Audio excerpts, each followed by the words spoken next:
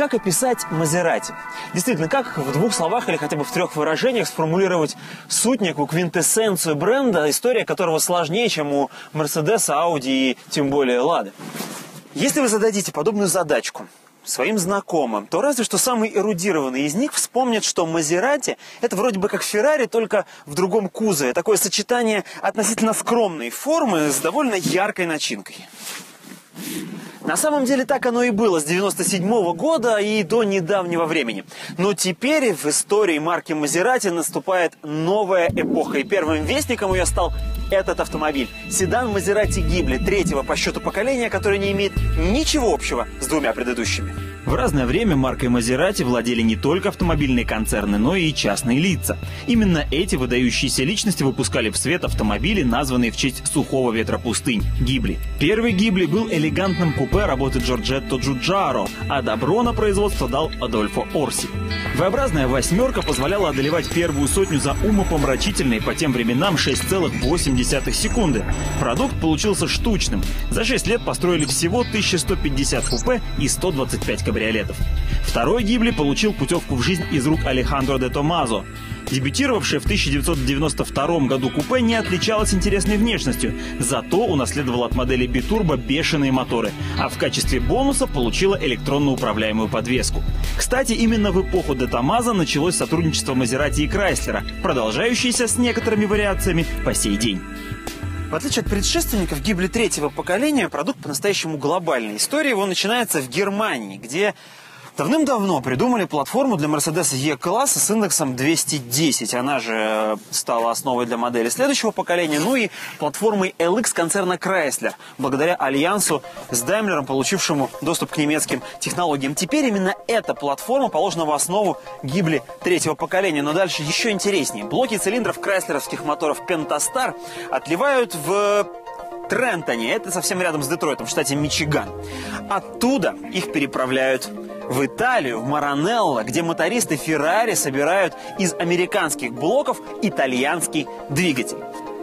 Из Маранелло моторы отправляются в Груяско на завод компании Бертоне, где производится финальная сборка. Ну, а контролируется процесс из Модены, где до сих пор располагается штаб-квартира Мазерати. Результат всех этих трудов был впервые показан публике на другой стороне глобуса. Вот здесь, в Шанхае. И за всей этой логистикой как-то в стороне осталась огромная и небезразличная нам страна. Именно поэтому личное знакомство с Мазерати Гибли третьего поколения мы решили начать здесь, в селе с гордым названием Высокое, которое, если разобраться, и есть самая настоящая российская голубинка.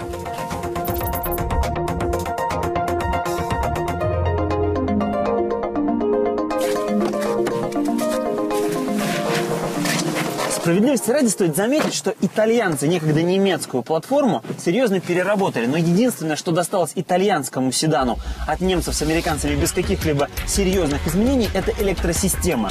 И следы этого влияния видны невооруженным глазом. За рулем обнаруживается единственный подрулевой переключатель, который отвечает по мерседесовской моде за все. А на тыльной стороне самой баранки примостились клавиши управления аудиосистемой, которые без чтения инструкций или огромного жизненного опыта и найти невозможно. И тому, и другому очень мешают массивные подрулевые переключатели, отвечающие за переключение передач. И оправдывает их огромный размер и расположение только удивительная основательность, с которой они выполнены. Вообще, если есть однозначное свидетельство наступления новой эпохи в истории марки Мазерати, так это качество интерьера. Конечно, с одной стороны, мы здесь имеем обязательную для этого класса программу. Карбон, кожа, дорогой пластик, стальные элементы. Но во всем этом нет даже намека на былую расхлябанность, за которую так ругали автомобили Мазерати прошлых генераций. Ну, конечно, не обошлось и без некого своеобразия. Ну, например, вот эта крышка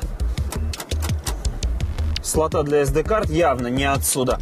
Как и щель для компакт-дисков, потому что диск сюда внедрить может только пассажир, да и то после некой тренировки.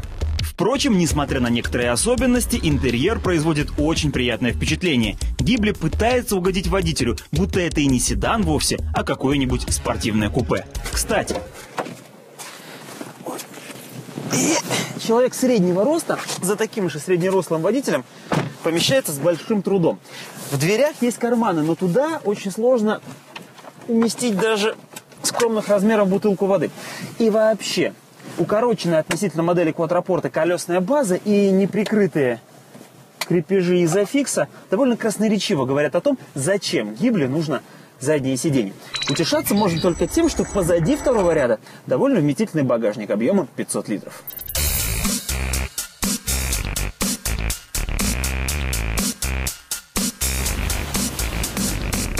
Вы знаете, мне немного жаль итальянцев и прочих европейцев, которые, может быть, и купят себе Мазерати Гибли, но никогда не узнают, в каких условиях этот автомобиль проявляет свои лучшие качества, потому что нет у них таких сел, таких деревень и, главное, таких дорог. Сложно поверить, что итальянский седан, водруженный на 19-дюймовые диски, может так плавно ехать по такой убитой дороге. Но мало того, что автомобиль старательно изолирует обитателей салона от вертикальных перегрузок, он еще и демонстрирует удивительную собранность. Фактически в салоне издавать звуки может только то, что в этот салон привнесли извне. Сам он сохраняет поразительную тишину. Просто не верится, что это те самые люди, которые делали Мазерати прошлых поколений. За разработку шасси Гибли отвечал Федерико Ландини, тот самый, который строил платформу Ferrari Scaglietti. Именно он дорабатывал мерседесовскую платформу и интегрировал в структуру шасси электронные амортизаторы Skyhook фирмы ZAX. Несмотря на дорожную всеядность Гибли, хотелось бы верить, что это не единственный талант этого автомобиля. Во-первых, там впереди все еще дремлют 410 лошадиных сил, заключенных в V-образную шестерку с турбонаддувом. Ну, а во-вторых, итальянцы, создатели этого автомобиля, утверждают, что хорошая управляемость ни в коем случае не является помехой выдающейся плавности хода. Но чтобы проверить это, нам нужен хороший асфальт.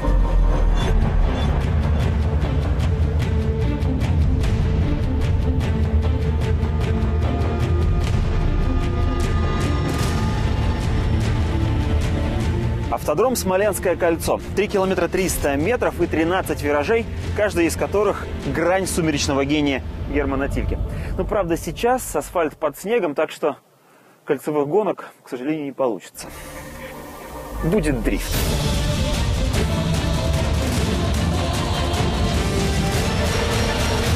Несмотря на то, что я нахожусь на гоночной трассе, для начала я не буду отключать систему стабилизации и переводить все системы автомобиля в спортивный режим. Хочется просто понять, насколько вот это комфортабельное шасси способно не просто ехать быстро, но и при этом не сильно утомлять владельца. Инженеры Мазерати утверждают, что человек больше восприимчив к кренам, чем к вертикальным перегрузкам. И правда, машина почти не кренится, несмотря на то, что подвеска в том самом комфортном режиме, который так понравился на разбитых дорогах российской провинции. Это еще какой замечательный поворот. Передачи можно лепестками переключать в любой момент, но коробка при этом, в общем-то, остается в драйве.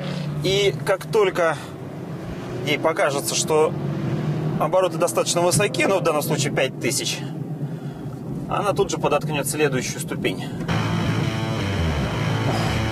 Даже позволяет немного пошалить. Расшалиться не дают система стабилизации и полный привод, который мягко перебрасывает часть крутящего момента на переднюю ось, плавно выводя седан из заноса.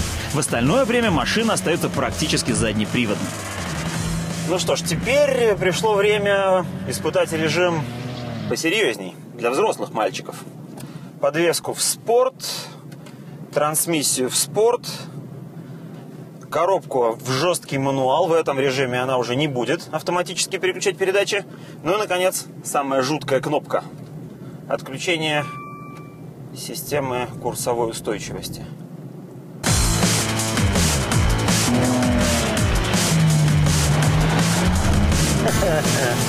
Она умеет.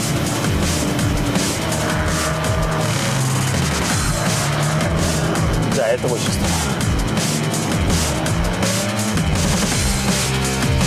В течение нескольких часов я безуспешно пытался найти хоть один изъян у Гибли, но вместо этого обнаружил недостатки собственного вестибулярного аппарата.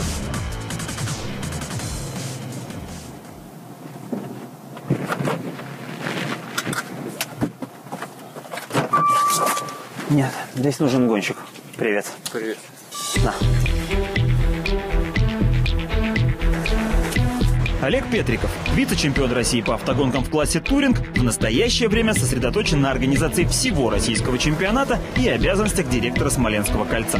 Тем не менее, он нашел время, чтобы протестировать гибли и начал, как положено, с критики. Мне не нравится руль, штурвал такой больше подходящий для какого-либо джипа, а не уж гоночной машины.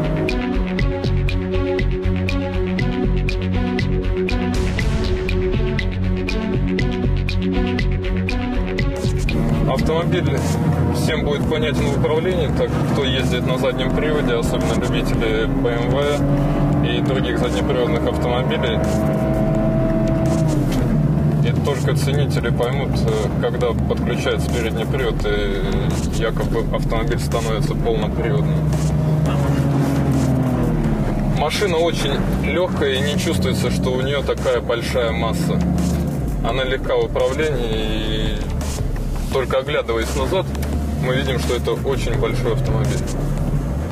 Но по всем эмоциям и ощущениям, когда сидишь за рулем, это маленький компактный автомобиль, который великолепно управляется на гоночной трассе. Ну что ж, значит, итальянцам удалось то, во что мало кто верил – создать достойную альтернативу немецким бизнес-седанам и купе на их базе. Гибли третьего поколения автомобиль, построенный с использованием немецких и американских технологий и не похожий при этом на продукцию ни одной другой марки.